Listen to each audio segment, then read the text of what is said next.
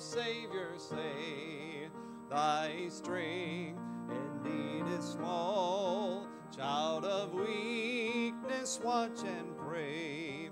Find in me thine all in all. Oh, Jesus paid it all. All to him I owe. My sin had left a crimson stain. He washed it white as snow. Lord, now indeed I find thy power and thine alone can change the leper's spots and melt the heart of stone. Jesus paid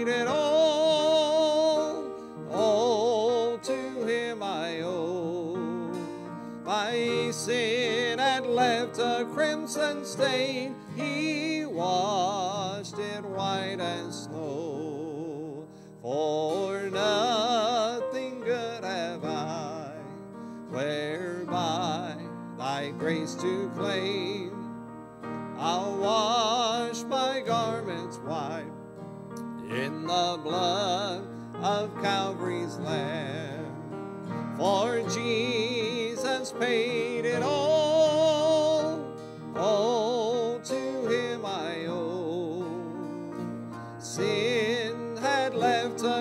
crimson stain, he washed it white as snow. And when before the throne I stand in him complete, Jesus died my soul to save. My lips shall still repeat that Jesus paid it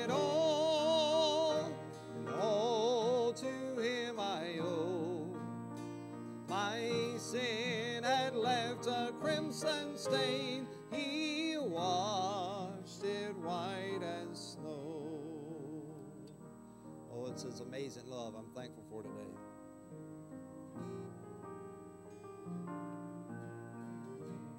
I'm forgiven because you were forsaken. And I'm accepted. You were condemned. I'm alive and well. Your spirit is within me because you died and rose again. I'm forgiven because you were forsaken. I'm accepted.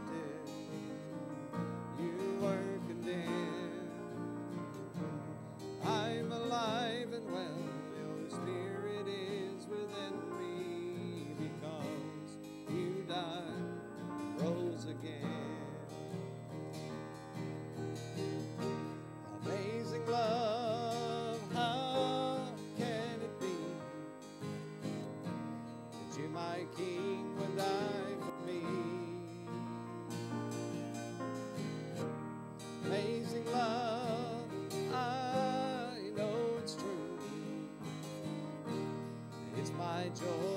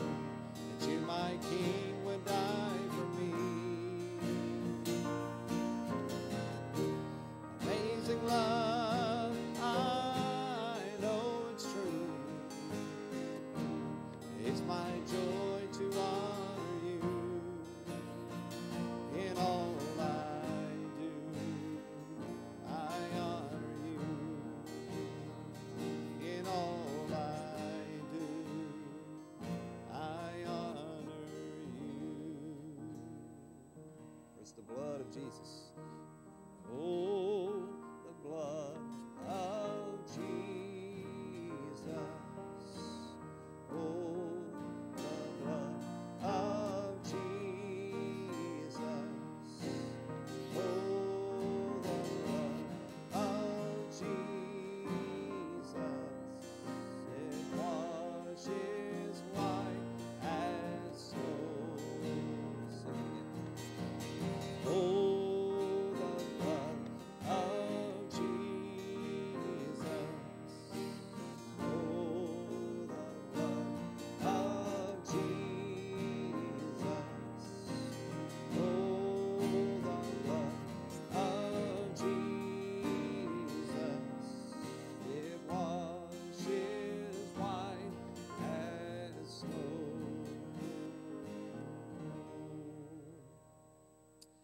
Let's pray this morning. Father, we just thank you for the cross.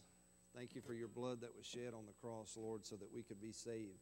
God, we uh, know that without the shedding of blood, the Bible tells us that there is no remission of sin, Lord. And God, we need it now more than ever.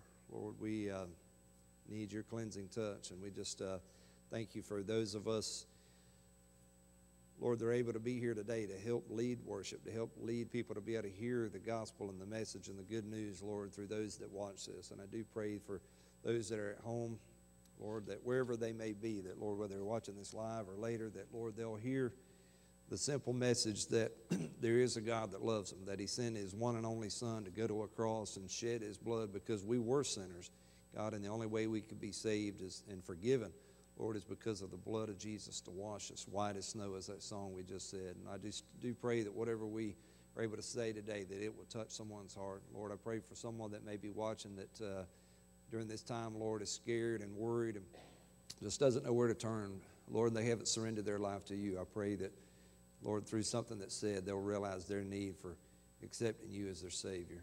Lord, I pray for, uh, for our church family as a whole that you'll just bless and surround us, Lord, and Fill each one with love and peace that only you can give, Lord. We pray for comfort during this time. Lord, pray for our leaders. Pray for everyone, Lord, uh, that we'll just all turn to you and seek you now more than ever, Lord, because we do need you, Lord. So just help us and bless us in this time. Bless Brother Darrell as he shares your word in a few minutes and uh, speak to us through what it says. In Jesus' name, amen.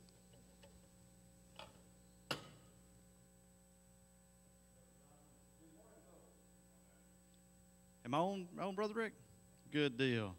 I know I'm not on. Nobody in here can hear me except a few of y'all, but y'all at home, glad you can hear me. If you hear us later on, thank you for tuning in to Mount Vernon Baptist Church today. Uh, this is our new normal. Uh, Facebook Live, uh, on everything streaming, everything is uh, uh, on uh, reality or on on the screens these days. But um, certainly, our God is nearer than ever before. He's right near us, and we can reach out and and and, and reach Him. He is uh, He's wanting to have that personal relationship with us, and um, certainly thankful you've joined us this day. Um, we are Facebook Live today. Also have an Instagram account now with Mount Vernon, MVBC, Baxley, Georgia. If you want to join us that way, uh, Brother Darrell's been doing some podcasts or some kind of uh, pastor's porch, I believe you ca- we'd call it, and uh, certainly want to tune in as we uh, as we do those. And uh, like I said, this is our new normal. Cole and I are, are trying this Zoom thing out. So older youth, younger youth, uh, the Zoom app is what we've been using. Uh, I think Cole has done a Facebook Live. I may try one of those. Um, they may run me off of there. I don't know. But um, anyway, listen out for our next Zoom meeting, kids. Uh, Tiffany and Heather have been doing uh, Facebook Live, or sorry, Instagram Live, as well as some Zoom meeting with the ladies. So thankful for them for doing that. Um, also, if you'd like to give, uh, the, the app that we've been using is Tithely. Um, that is an um, app you can download. You can search for um, MV or Mount Vernon Baptist Church, not MVBC, but Mount Vernon Baptist. If you start typing M and T in there in the search bar, you will see our church. You can add it, and uh, you can then send through your bank account uh, by adding your routing number and check number, or um, you can uh, do it through a debit card or other card. If you'd like to mail it in, 459 GW Turner Road, uh, you can send that to Lamar Turner at 459 GW Turner Road, Baxley, Georgia, 315133. But we're thankful you're uh, tuning in. Uh, happy Palm Sunday. We're within a week of Easter, and um, uh, doesn't seem that far off, but I think back 2,000 years ago and the things that happened in that week from Palm Sunday until our Lord laid down his life for our sins and then rose again victoriously over death, hell, and the grave. So we're thankful today, and I'm going to turn over to Brother Cole as he brings the uh, prayer request.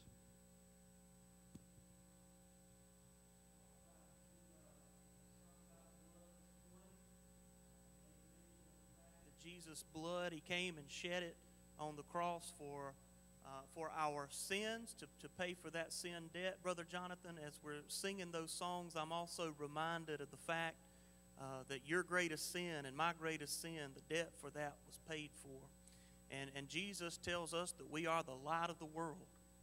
And He'd never tell us to be the light of the world if He did not provide a way for us to come out of the darkness of guilt and shame. And I'm thankful for that this morning as we're coming into this Easter week.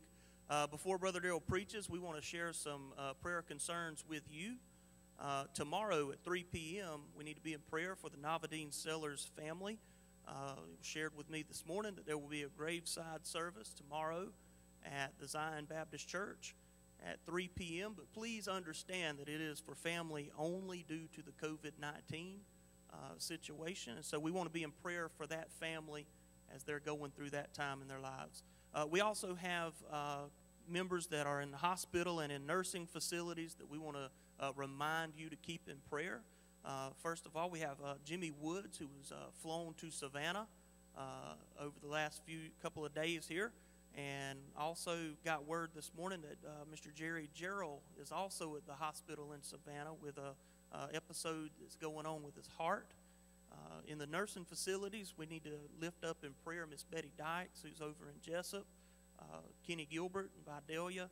Uh, we also need to keep in uh, prayer Mr. J.E., or Brother J.E., and Miss Jean Blanton, uh, as Miss Jean is over at a nursing facility in Douglas, and uh, Brother J.E. and his health as well.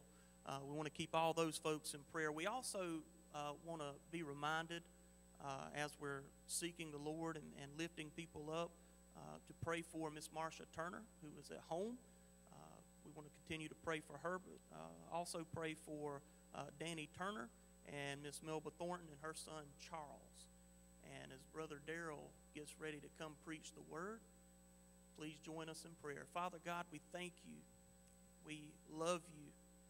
We ask now that you would clear our minds, open our ears, and soften our hearts as Brother Darrell comes to preach your word, I pray that you would speak to us and move in the hearts of your people. In Jesus' name I pray. Amen. Thank you, Cole. Thank you, Adam. Thank you, Jonathan and Kim and uh, Ricky and Ann uh, for all the work that y'all are doing to try to help us be able to continue to serve our Lord and uh, minister in the name of Christ. Uh, uh, certainly, we do want to keep these folks in prayer that uh, Cole has just mentioned. We have some very serious needs among our church family, not only because of the virus problem that we're going through, but because of these particular situations. And, And we ask you to pray for them. Hold them up close to you and, and pray God to bless them. Now, we do want to ask you, if you join us this morning, I'd ask you to turn to John chapter 3. If you uh, happen to catch us last week on Sunday morning, we were in John chapter 3. We read the first seven verses of Scripture and uh, dealt with the realization that Jesus said, Ye must be born again. It's not debatable, it's not optional. Uh, he said, Ye must. And I personally appreciate that. I like it that God is absolute. Uh, he is definite. He is uh, uh, sold on this. It's not debatable. And, and to me, that's a big plus because I like to be able to uh, know with a confidence and an assurance of what we're doing and, and uh, what we're dealing with. So uh, I appreciated his dealing with that last week when he dealt with Nicodemus and said, Ye must be born again. Now, we got through verse 7. I want to pick up with verse 8 and read a few verses of Scripture uh, following here in John chapter 3. Uh, Jesus said, The wind bloweth where it listeth, and thou hearest the sound thereof, but canst not tell whence it cometh and whither it goeth. So is everyone that is born of the Spirit. Nicodemus answered and said unto him, How can these things be? And Jesus answered and said unto him, Art thou a master of Israel, and knowest not these things? Verily, verily, I say unto ye, uh, we speak that we do know and testify that we have seen, and ye receive not our witness. If I have told you earthly things, uh, and you believe not, how shall you believe if I tell you of heavenly things? And no man hath ascended up to heaven, but he that came down from heaven, even the Son of Man, which is in heaven. And as Moses lifted up the serpent in the wilderness, even so must the Son of Man be lifted up. Uh, let's bow for prayer again, please. Lord, I thank you for your word. I thank you for the absolute trustworthiness of it. And I pray, God, you would use it, not necessarily Darrell Quinn, Lord, but your word for your glory, your honor, your praise. And, and God, if we do anything that brings glory to you, we've already learned, Lord, it winds up being good for us too. Now, God, I pray you take this time, use it for your glory, and we'll praise you and thank you for it. For it's in Jesus' name I pray. Amen. Uh, let's go back there and start where we read first there in verse 8. At verse 8, talking about the wind blows where it listeth, and thou hearest the sound thereof, but canst not tell whence it cometh and whither it goeth, so is everyone that is born of the Spirit. Now, I think we all can uh, testify to it sometime in our life, if not regularly in our life, uh, listening to the wind blow through the pine trees here in South Georgia, the whispering sound that it makes, or going through the trees and uh, the leaves as they rustle. Uh, it's, it's, a pleasant sound most of the time, uh, but the thing is, we don't see the wind, you just see the results of the wind. I personally think when I read this verse of Scripture, it's like I, I've noticed that there are times when some folks who have had a bad reputation, they've been a little on the rowdy side, and they get saved and they change. Uh, and it, it's something different about it. And you may not be able to look at them and put your finger on uh, the reason for the change, but it's the work of God's Holy Spirit in a person's life. God can take the sorriest, dirtiest, meanest sinner and make a saint out of them. And that, that's a change uh, that you might not see the work, but you see the results. And we say, Praise the Lord. Well, Nicodemus was saying, How can these things be? And Jesus answered him, said, uh, You're a master of Israel, and you don't know this? Verily, verily, I say unto you, we speak that we do know, and testify that we have seen, and ye receive not our witness. Now, I'm going to be honest with you. I personally believe that we could read this verse 11 a little easier if we simply took the pronouns and instead of uh, reading we speak and we do and, and we have seen, uh, I, I, think maybe really, Jesus said, I'm telling you this. I've seen this. And, and so Christ is speaking directly to Nicodemus. He's trying to make this plain to him there and uh, saying in verse 11.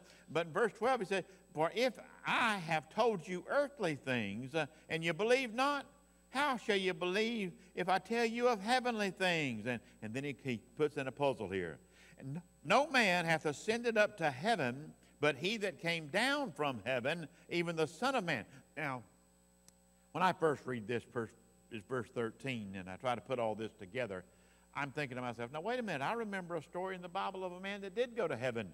But now here's the catch. The story of the Apostle Paul when he was stoned at Lystra over in the book of Acts. And then if you go on to uh, the, the book of Second Corinthians in chapter 12 and you read the story of what Paul had to say about the day he died at Lystra, uh, at least that's what I believe, and, and others that I respect uh, have the same opinion, that they stoned the Apostle Paul, killed him, left him in the dirt there, and his spirit ascended up to glory. And there in uh, his writings to the Corinthians in 2 Corinthians chapter 12, he began to try to describe what happened. He said, I don't know really. And he winds up saying that he saw and heard unspeakable things that were so glorious, so wonderful that he didn't even have words to say. Well, I think that that's a relative to what Jesus is saying here, and he's talking about how that uh, no one at the day that Christ said these words in John chapter 3, the, the book of Acts was not in progress yet. And so here in John 3, when Christ is speaking to Nicodemus,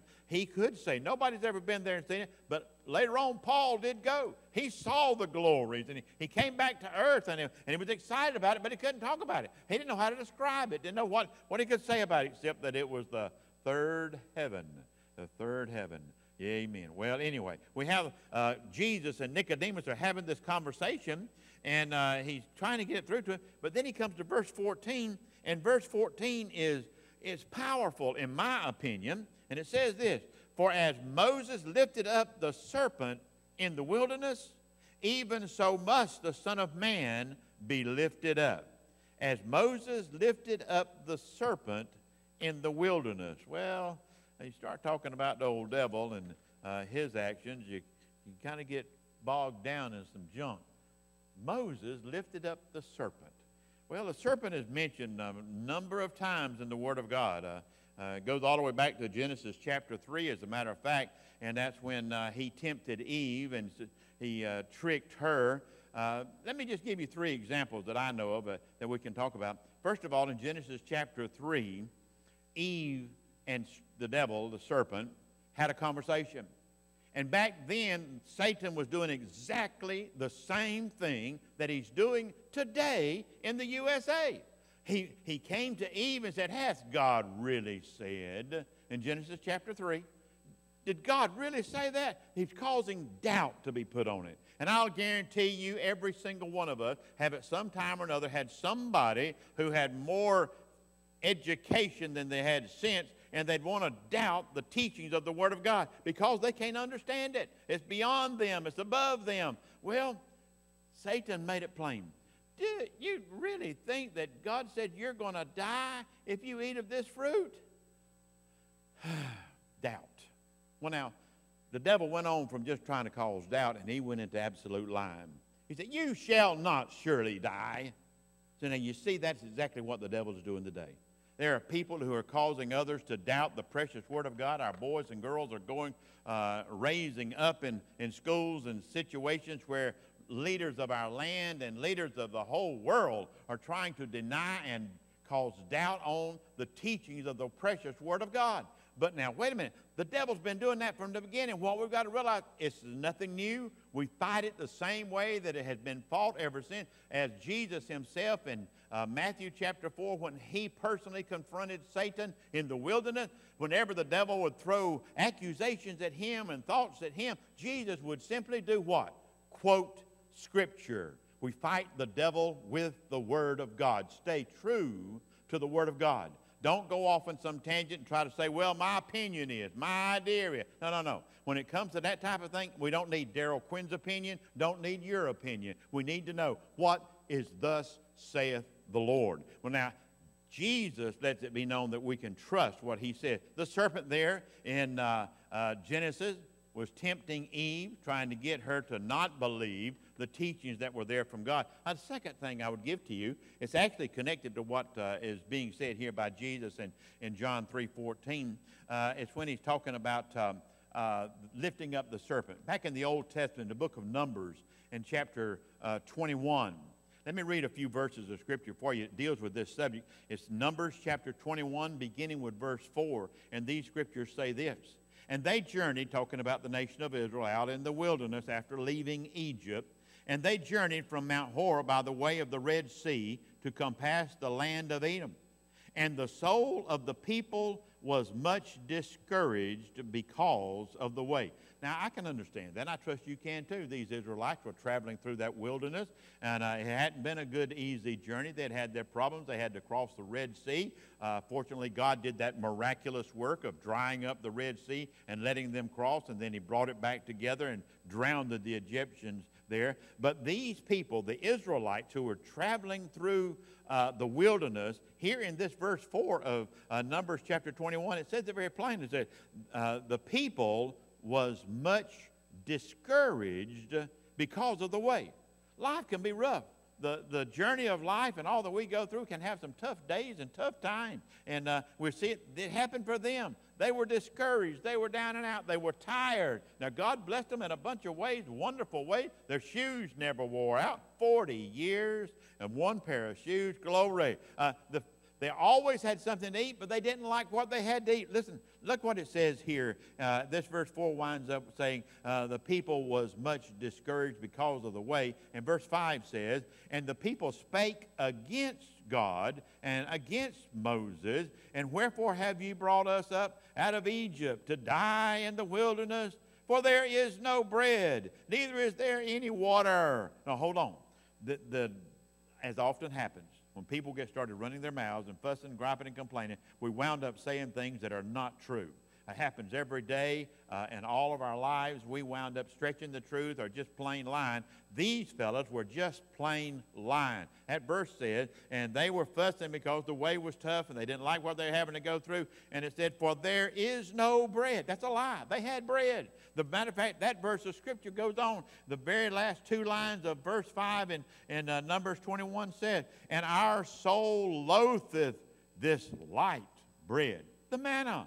They had bread. They, it was light bread. I, I like light bread. Don't y'all like light bread? I, would like to make sandwiches out of light bread. I, I don't know what this bread. I've, I've often said that I personally think since it was small, round, white, uh, and uh, kind of sweet to the taste, apparently, I think maybe it was donuts.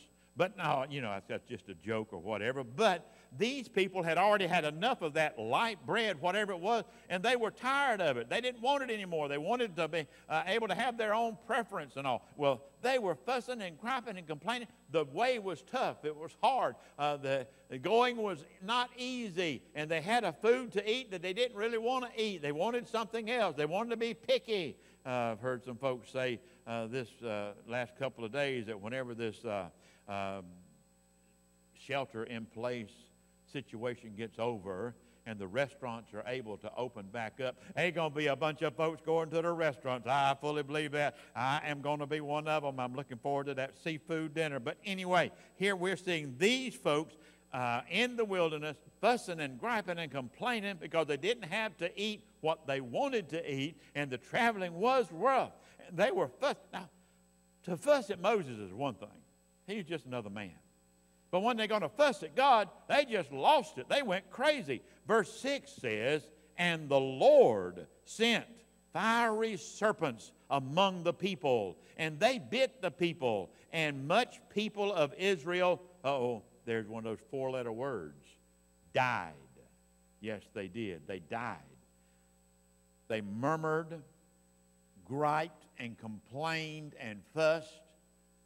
And God said, okay and he sent them serpents among them to bite them, and many of them died. Oh man. Well, verse 7 says, Therefore the people came to Moses and said, We have sinned, for we have spoken against the Lord and against thee. Wait a minute. Well, at least they acknowledged it, and at least they could realize what they had done wrong. They were murmuring and griping and complaining. Lord, have mercy. They must have been from the USA uh, and just fussing and griping because they didn't have their way, and life was not easy enough for them. Uh, they were having a rough time of it. Well, when you start fussing against God, friend, you're doing the wrong thing. God sent the serpents among them because they had run their mouths and used their tongues to do that which is not wise. You don't fuss at God and complain about God's man. But that's what they did and Lord, did they have to pay the price for. At verse 7 says that uh, we have sinned, for we have spoken against the Lord and against thee. Pray unto the Lord that he take away the serpents from us. And Moses prayed for the people. Well, now, That shows he had uh, uh, maybe a, a bigger heart than most of us. These very folks who had just been fussing, griping, and complaining at him and about him, he turned around and prayed for them. Well, he did, and he and look at verse 8. And the Lord said unto Moses, Make thee a fiery serpent, uh, and set it upon a pole. And it shall come to pass that every one that is bitten, when he looketh upon it, shall live. Now that's interesting to me. And is a, is a huge truth buried in that verse of Scripture. Jesus is telling him to make a fiery serpent out of brass. It's going to shine. And stick it up on a pole high up in the air. And then any man or woman out there who is bit by one of these serpents, if they'll just look to that serpent, and when they look at that serpent, they can be healed of the bite of the serpent. Now, that's the instructions from God. Moses built that serpent, and uh, he, he put it on that pole, and the people began to realize, okay, and they found out if they looked to that serpent on the pole, they were healed. God spared them from dying. Now, I don't know about you, but Lord, there's some similarities.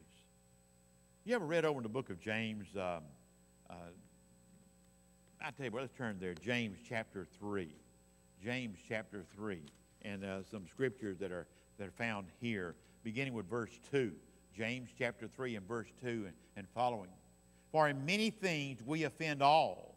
If any man offend not in word, the same is, and the King James Version here says, the same is a perfect man uh, and able to bridle the whole body. Now, the point of this verse is any person who can control their tongue all the time, they are a good one. They are doing an exceptionally good job. Uh, perfect is not probably the best word to use there. Uh, they're not perfect. We're all sinners but yet they have reached a place of maturity and completeness where they have learned how to control what they say, their tongue. Boy, that's a big deal. That's a big deal. Probably all of us. Matter of fact, I don't think I've ever met anybody who always was able to control his tongue. I've even heard some of the greatest preachers in America who wound up after saying something, I won't call their name, but they turned around at a convention, thousands of preachers and laymen there in the room, thousands, I'm talking 25,000. And he said something, and then in about a minute he stopped and turned around and looked at a whole congregation and said, I didn't need to say that. I apologize. because none of us can truly control our tongue all the time. And here God's letting that be known through James. He's making that truth known. We have a problem. It's our tongue. And verse 3 said, Behold, we put bits in the horse's mouth, and they may obey us, and we turn about their whole body. A, bit's a little bitty thing. The mouth of the horse is one of the smaller parts of the body of the horse, and yet through that bit, that's in the mouth of that horse, you can make that whole horse do what you want it to do. And verse 4 says, And behold also the ships, which though they be so great and are driven of fierce winds, yet are they turned about with a very small helm. Uh, whithersoever the governor listed. So a, a ship out there knows you can be guided by just a, a small rudder, just a little bit of work on that rudder, and it can make that ship go the way it the driver wants it to go. Verse 5 says, And even so the tongue is a little member, but it boasteth great things. And behold, how great a matter a little fire kindleth. And the tongue is a fire, a world of iniquity, and so is the tongue among our members. Hold on. He's making it plain. Us and our tongue, it's a problem. We insult people. You know, the best thing we can do is just keep our mouth shut. I believe there's a verse in Proverbs that says something like, even a fool, if he keeps his mouth shut, people think he's smart. And so I, I think there's a lot of truth in that. When you sit around and you don't say much, you don't uh, get involved in the conversation show what you do think, uh, people are liable to think you're a pretty smart fella, pretty smart. Well, now hold on. God is trying to teach us something here. I want you to realize this. From uh, the Garden of Eden, when the serpent came and tempted Eve, to the wilderness when Moses was being fussed at and griped about and complained about, and all the people were uh, murmuring against God and against Moses, to the book of James and the teachings that are there, we're seeing that our tongue has some distinct similarities to a fiery serpent. It is, according to God's word, our tongue is set on fire from hell, the hellish thoughts, the meanness, the evilness that is down inside of all of us somewhere, it comes up and comes out almost always from our tongue. We say things we should not say. We, we talk about folks in such a way as uh, it's embarrassing. And I know we're all guilty. I know I've, I've been guilty of it. There have been times when I've gone home and my wife said, Do you know what you said? I said, When? And she would go back to some time when we were talking to somebody that day, and, and or maybe even while I was preaching. And she said, Well, you said. And I said, No, I didn't say that. And I said, Yes, you did. And I realized, man, I have messed up. That's not right. Nobody is exempt from this. I'm sorry. We all have a problem with this fiery serpent that is in our mouth, a tongue. It's a problem. And uh, we've got to understand that. Well, I, I want you to understand this verse of scripture here is verse 14 in John chapter 3. is pointing out that as Moses lifted up that serpent in the wilderness that resembled, uh, through the teachings from Genesis to James, a fiery serpent, a tongue, that is a problem. But now look here. He said the last half of this verse 14, even so must the Son of Man be lifted up. Now, just to pick up for a moment, if you can remember, if you heard me last Sunday morning, I tried to be emphatic. I did. I tried to be dogmatic. I tried to be absolute. We must be born again. You have no other choice. You either get born again or you do not go to the glories of heaven. But now hold on. Here, same sermon, same discussion, if you will. Uh, Jesus and Nicodemus having the same discussion, and he gets to this point, and he's now he's not talking about ye must be born again, but he's talking about that uh, uh, the Son of Man must be lifted up. Oh boy. Easter's next Sunday.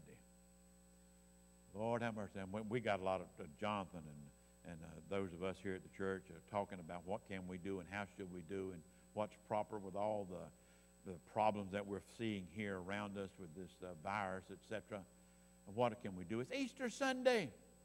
I've had the joy of being pastor here at Mount Vernon for 36 years. In 36 years, I think there's been two Sunday Easter mornings that we wound up coming inside and not having an outside uh, sunrise service. One was because it was raining, and the other was because it was 28 degrees. And I must confess to you, I had some men fuss at me for saying, coming inside on that morning. It was 28 degrees. And I looked at them, I said, we have a lot of senior women who love to come to our sunrise service. I'm not going to ask senior women to go out there and sit on a little metal folding chair, uh, and at 28 degrees. And we came inside.